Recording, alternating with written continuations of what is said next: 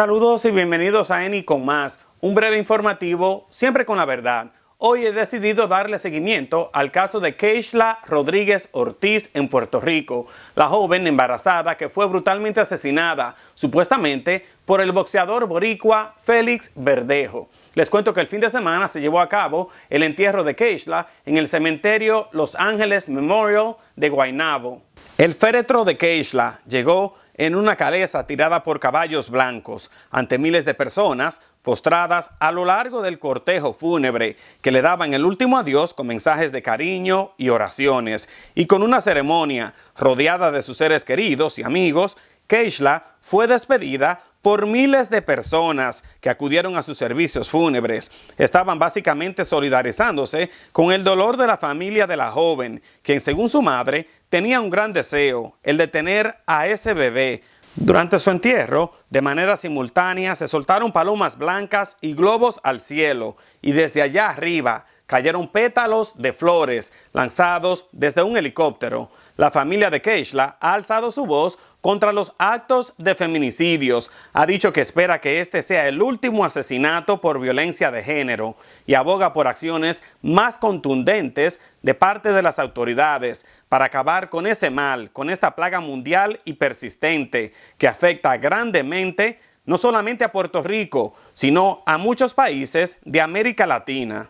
Como les he mencionado antes, el asesinato de Keishla y de su bebé que comenzaba a gestar días atrás básicamente enlutó a Puerto Rico, conmocionó a toda la isla del encanto y el autor de este crimen, el boxeador Félix el Diamante Verdejo Sánchez y su cómplice Luis Antonio Cádiz Martínez, colaborador del FBI, están encarcelados sin derecho a fianza. Mañana comparecerán en corte para participar en una audiencia en la que se dictarán los cargos contra los dos acusados. Son cargos presentados por un gran jurado federal. Verdejo y Cádiz Martínez, según las autoridades, planearon con premeditación la muerte de Keishla y de su bebé no nacido, por lo que el boxeador fue acusado de carjacking. Esto es simplemente robo a mano armada de un vehículo que resultó en muerte, secuestro que también resultó en la muerte de una persona y del asesinato de un bebé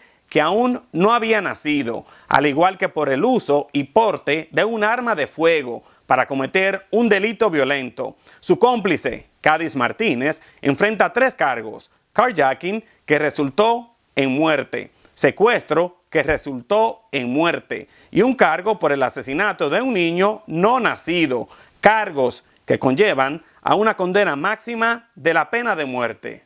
Algo importante en este caso fue lo que ocurrió el pasado viernes, cuando el juez federal Pedro Delgado Hernández emitió una orden mordaza que estará en efecto hasta que termine este proceso judicial. Esta orden básicamente, escuchen, simplemente prohíbe que los abogados defensores y su personal, al igual que los fiscales y todos sus empleados y el personal del Tribunal Supremo hablen al público o a los medios de comunicación sobre este caso, incluyendo postear mensajes en sus cuentas de redes sociales relacionadas a este caso. Para entender un poco más en qué consiste esta orden mordaza o de qué se trata, establecí contacto con la abogada Jody Morales. Escuchemos su explicación. Una orden de mordaza es una orden legal que restringe la información o los comentarios para que no se hagan públicos o se, transmitan a terceros no autorizados. Las órdenes de mordaza se utilizan a veces en un intento de asegurarse un juicio justo, evitando la publicidad prejuiciosa antes del juicio. Actualmente, en este caso, la familia está solicitando que se levante la orden, pero en mi opinión, dado lo publicitado que se ha vuelto este caso, no creo que el juez se arriesgue a comprometer el caso en la corte. Como ya les mencioné, se espera que mañana el juez les pregunte a los dos coacusados si son culpables o inocentes. Y según informes, se esperan que ambos digan que son inocentes. Ahora, se habla mucho del único testigo en este caso, el cómplice del boxeador, Cádiz Martínez, un ex convicto, por lo que le pregunté a la doctora Morales ¿Cómo podría afectar esto a la Fiscalía? Escuchemos la respuesta de la abogada Morales. El hecho de que un testigo tenga antecedentes penales sirve para cuestionar la credibilidad de la persona. En otras palabras, la parte contraria puede argumentar que este testigo ha puesto sus intereses por encima de los de la sociedad en ocasiones anteriores y no debe ser acreditado ni creído. Sin embargo, siempre hay un cuidadoso acto de equilibrio por parte de los jueces con respeto a si algunas condenas son admisibles o no. En mi opinión, no creo que el hecho de que el testigo en este caso tenga antecedentes penales perjudique a la Fiscalía, siempre que proporcione un relato de lo sucedido que se alinee con las demás pruebas en este caso.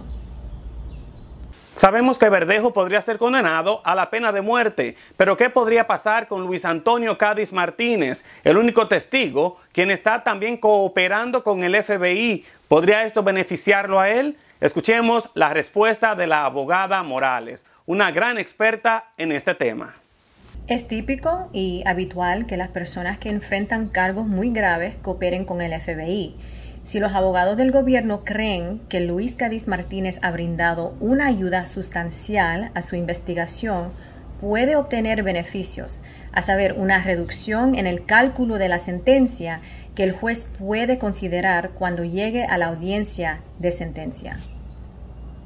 Agradezco a la doctora Jody Morales por su colaboración y apoyo. Como ustedes seguramente saben, Verdejo y Keishla habían establecido una relación sentimental hace ya más de una década y según las autoridades, pues la muerte de Keishla se produjo el pasado 29 de abril, cuando Verdejo supuestamente la citó para encontrarse en un punto cerca a la residencia de ella. Verdejo supuestamente llegó en su camioneta Dodge negra y ella llegó al lugar en su auto, un Kia Forte color gris, y luego se montó a la camioneta de Verdejo Sánchez.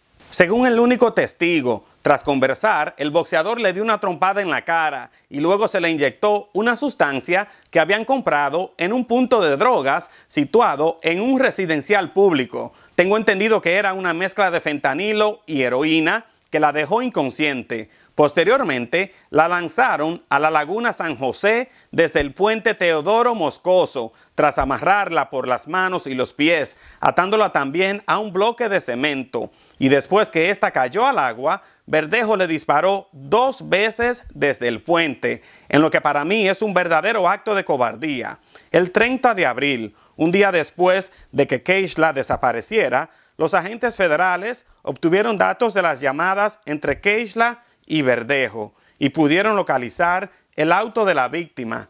Luego hallaron su cuerpo flotando en la laguna San José. Ahora cuentan con ciertas evidencias como imágenes captadas por las cámaras de vigilancia del puente Teodoro Moscoso, también comunicaciones telefónicas y la confesión de Cádiz Martínez, un testigo clave, al igual que el presunto hallazgo de sangre en las vallas del puente después de que se recuperó el cadáver de Keishla. Las autoridades también incautaron la camioneta de Verdejo.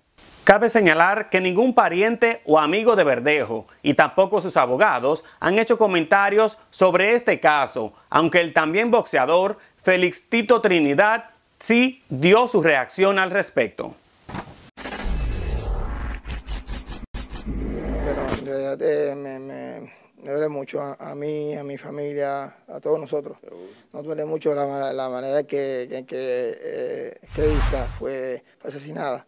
De verdad que no, ya no, nadie, nadie debe de morir, debe de morir así. De verdad que sí, de verdad que pues, yo creo que ya feliz ya le, ya le, le, le, es culpable. Que ya de verdad que le hicieron una sentencia que es culpable y de verdad que pues tiene que pagar con todo lo de la ley porque en realidad pues hizo algo que no se debe hacer a ningún ser humano. Yo tengo cinco niñas y espero que en nombre de Dios nunca este, puedan este, pasar por un momento así, ninguna de ellas. Es algo que tenemos una, tenemos todos, tenemos, nacimos de una, de una, de una mujer y de verdad que no se debe este, pagar así a ninguna mujer, ni, ni, niña, ni joven, ni adulta, ni abuela, no, no. Este, más aún, este domingo, se está celebrando el Día de las Madres. De verdad que quiero enviar un saludo bien, bien fuerte a, la mamá de Keisla. al papá también, pero que este Día de la Madre un día sea un día distinto para ella, sin una hija, sin que la pueda abrazar, que estoy seguro que van a le un abrazo. Tanto regalo, el detallito de regalo, pero sin un abrazo, que estoy seguro 100% que quisiera que ella estuviese ahí para dar ese abrazo, posiblemente ese abrazo y ese saludo y estar con ella todo el día, donde quiera que puedan estar. Estoy con ella 100%. Le conmueve mucho este caso, ¿verdad? Sí, me conmueve, me conmueve mucho, sí, porque en realidad este, un caso que esto no debe pasar. Creo que esto ya, ni, una más. Sinceramente, ni una más, que no, que no, que no suceda más esto aquí en nuestra isla Puerto Rico, en el mundo entero. Pero se acabe el abuso, sea así, pero ya en nuestra isla, que no pase esto más. Y como dije, tengo cinco niñas que las quiero, las amo mucho y, espero que toda la vida estén bien y que Dios las bendiga mucho. Y a tanto a la mamá como al papá solidarios con ellos y que Dios los bendiga mucho, mucha fortaleza, porque sabemos que Dios la, Dios la da. Amén. Y bueno, pues definitivamente que ayer fue el Día de las Madres más triste para Keila Ortiz Rivera, la madre de Keishla, por lo que desde Nueva York expresamos nuestras más sinceras condolencias a toda la familia de esta joven puertorriqueña y también nos unimos a ellos en su lucha contra los feminicidios, los cobardes actos de violencia de género. De esa manera termino esta edición de Eni con más, agradeciéndole su tiempo y su confianza, invitándolos a que me sigan en todas las redes sociales, también a que se suscriban a este canal en YouTube y una vez que lo haga, asegúrese de darle clic al icono de la campanita para que pueda recibir las notificaciones de todos mis videos. Nos vemos en la próxima edición de más.